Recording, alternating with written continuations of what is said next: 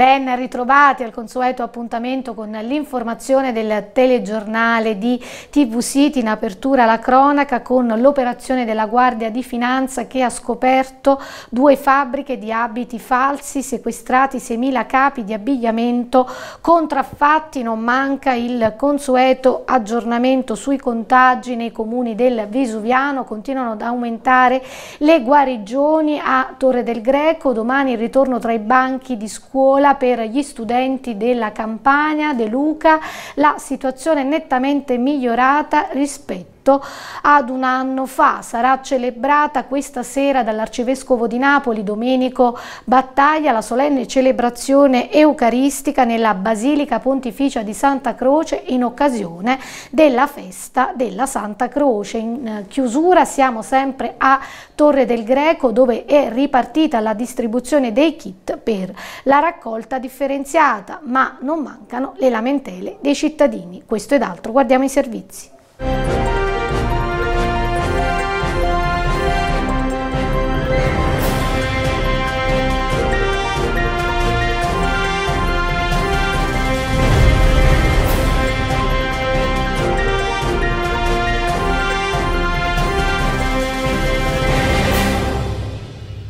Il Comando Provinciale della Guardia di Finanza di Napoli ha scoperto nel corso di due distinti interventi due vere e proprie fabbriche del falso e 6.000 capi di abbigliamento contraffatti o privi di marchio.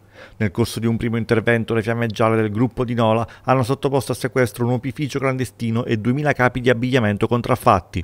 In particolare, durante un controllo su strada a Cimitile, i finanzieri hanno fermato un 48enne che trasportava all'interno della sua autovettura diverse centinaia di articoli privi di documentazione amministrativo-fiscale di supporto. Le successive perquisizioni condotte sia presso una società di articoli sportivi di Saviano che nei confronti di una ditta individuale di Ottaviano hanno permesso di ricostruire la filiera di commercializzazione della merce, nonché di sequestrare un macchinario composto da sei linee di produzione e una pendrive utilizzati per la creazione dei capi d'abbigliamento contraffatto denunciati all'autorità giudiziaria tre responsabili, l'autotrasportatore, la rappresentante legale della società e il titolare della ditta individuale. Nel corso di un secondo intervento i baschiveri del gruppo pronto impiego hanno notato nel quartiere fuorigrotta del capoluogo trasferimenti sospetti di merci e fermato un soggetto che usciva da un edificio trasportando grandi buste di cellophane contenenti t-shirt prive di marchio. La successiva ispezione dell'abitazione e di due locali nella sua disponibilità ha portato alla scoperta anche in questo caso di un opificio clandestino, attrezzato con termopresse per la posizione dei marchi e utilizzato come deposito di circa 4.000 capi, già confezionati e pronti per essere messi in vendita. Il responsabile, un 35enne napoletano, è stato denunciato. Le operazioni rientrano nell'ambito della costante azione di contrasto della contraffazione da parte delle fiamme gialle partenopee, a difesa non solo del Made in Italy e della sicurezza dei prodotti, ma anche degli imprenditori onesti e dei consumatori.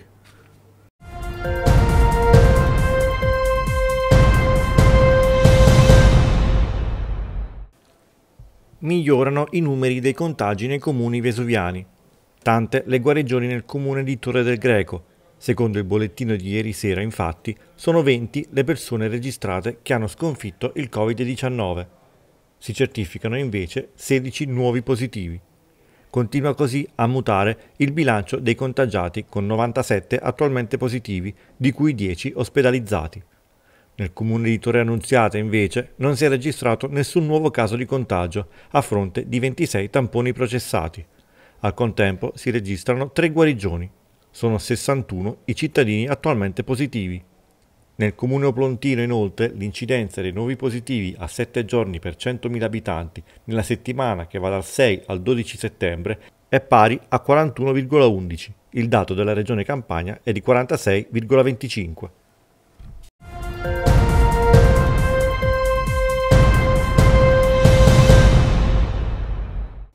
Domani rientro tra i banchi di scuola per bambini e ragazzi delle regioni Campania, Liguria, Marche, Molise e Toscana. Secondo il governatore della Campania, Vincenzo De Luca, l'anno scolastico inizierà con grande serenità. Abbiamo in Campania, spiega, il livello più alto di vaccinati nel personale scolastico. Per quanto riguarda la popolazione studentesca, siamo al 75% per le secondarie superiori. Dunque è ottimo il livello di vaccinazione. Dobbiamo fare uno sforzo per quelle inferiori, per le medie, per stare tranquilli. Dal punto di vista della scuola, per la verità, abbiamo una situazione di grande tranquillità. Sapete che siamo la regione d'Italia che ha avuto il livello più alto di vaccinazione del personale scolastico. Per quanto riguarda la popolazione studentesca abbiamo un ottimo livello di vaccinazione, siamo al 75% per le secondarie superiori. Dobbiamo fare ancora uno sforzo per quelle inferiori, per le medie, per stare tranquilli. Ma siamo in una situazione incomparabilmente migliore rispetto a un anno fa.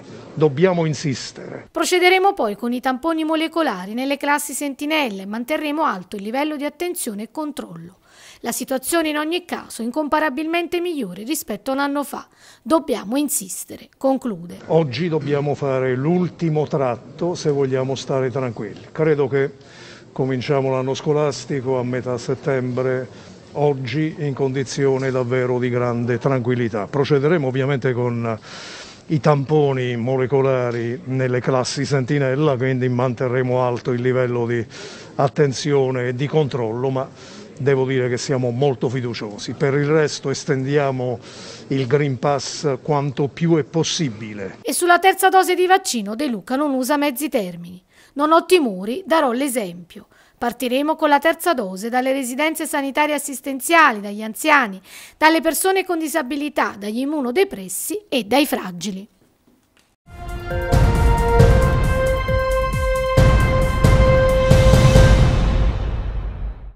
Sarà presieduta da Sua Eccellenza Monsignor Domenico Battaglia, Arcivescovo di Napoli, la solenne celebrazione eucaristica questa sera alle 19.30 nella Basilica Pontificia di Santa Croce a Torre del Greco. Dopo il triduo di preparazione alla festa della Santa Croce iniziato sabato 11 settembre, le celebrazioni culmineranno oggi, martedì 14 settembre. Dopo il rosario delle 19 seguirà la messa, che sarà anche trasmessa sulla pagina Facebook della Basilica non mancherà la benedizione con il legno della Santa Croce. L'esaltazione della Santa Croce è una festività della Chiesa Cattolica, della Chiesa Ortodossa e di altre confessioni cristiane. In essa si commemora la crocifissione di Gesù, con il particolare obiettivo di sottolineare la centralità del mistero della croce nella teologia cristiana. Il termine nasce dal rito che prevedeva l'innalzamento di una croce e la sua ostensione ai fedeli, il ricordo dell'innalzamento di Gesù Cristo sulla croce e dell'ostensione del suo corpo sacrificale. Nella celebrazione eucaristica il colore liturgico è il rosso, il colore della passione di Gesù, che richiama appunto la Santa Croce. La festività ricorre il 14 settembre, il ricordo del ritrovamento della vera croce di Gesù da parte di Sant'Elena, avvenuto, secondo una tradizione, il 14 settembre del 327. In quel giorno la reliquia sarebbe stata innalzata dal vescovo di Gerusalemme di fronte al popolo, che fu invitato all'adorazione del crocefisso.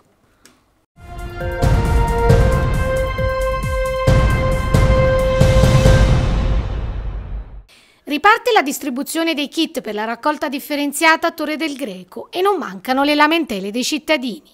Da ieri, lunedì 13 settembre, è possibile ritirare i sacchetti all'Eco Point di Palazzo La Salle o a quello dei Molini Marzoli. Per evitare assembramenti è disposto l'accesso alternato in ordine alfabetico secondo il calendario disposto dal Comune. Tanti cittadini in fila questa mattina ai Molini Marzoli. In molti hanno ribadito ai microfoni di TV City le carenze del servizio. So che hanno iniziato a distribuirle solo da questa settimana e non dal primo settembre come mi avevano detto la volta scorsa. Eh, non saprei risponderle in merito poi al trattamento di questi rifiuti una volta depositati, questo non glielo so dire, anche se le voci non sono molto incoraggianti in proposito. La città è sporca o pulita? La città mi sembra sporchina in effetti, sì per usare un eufemismo diciamo, quindi si potrebbe fare meglio. Ecco. Anche perché tutto questo vanifica poi l'impegno invece dei cittadini virtuosi. Certo, certo, certo. Teniamo conto che abbiamo anche da pagare una tariffa Tari abbastanza salata. Abita in via Cefalonia, Marti d'Africa, la funziona come ritiro delle, delle, differenziate. Cioè abbiamo i bidoni giù al palazzo, ogni condominio eh, viene effettuata regolarmente. Ci sono dei punti un po' più abbandonati, non lo so perché, ci sarà qualche motivo però. Però vedo che nelle zone più alte di Torre del Greco viene un po' più mantenuta. Questo è quello che vedo, nelle zone più più alte, determinate zone sono più pulite, determinate zone magari, magari pure qualche cittadino che magari non, non rispetta i giorni e non viene raccolta, forse sarà questo. Questi kit secondo lei dovrebbero essere distribuiti più spesso?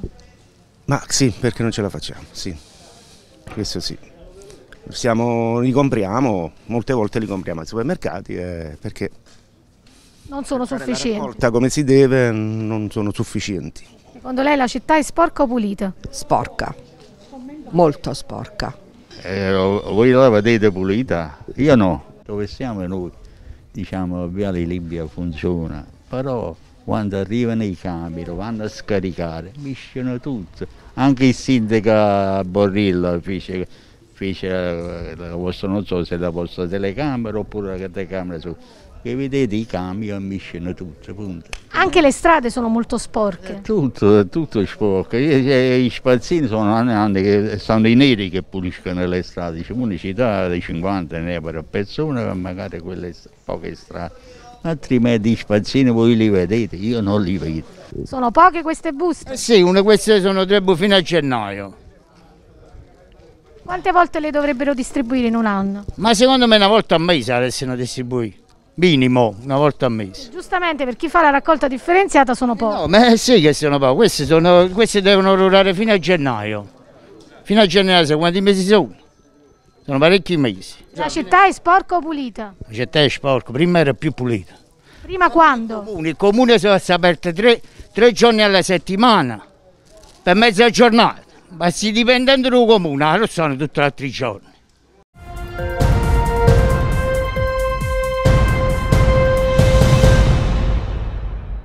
Con questa notizia si chiude anche oggi questa edizione del nostro TG. Vi ricordo che per info e segnalazioni potete inviare un'email all'indirizzo redazione chiocciolatvcity.it o chiamare al numero 340 6561 484. Con questo è veramente tutto, arrivederci a domani.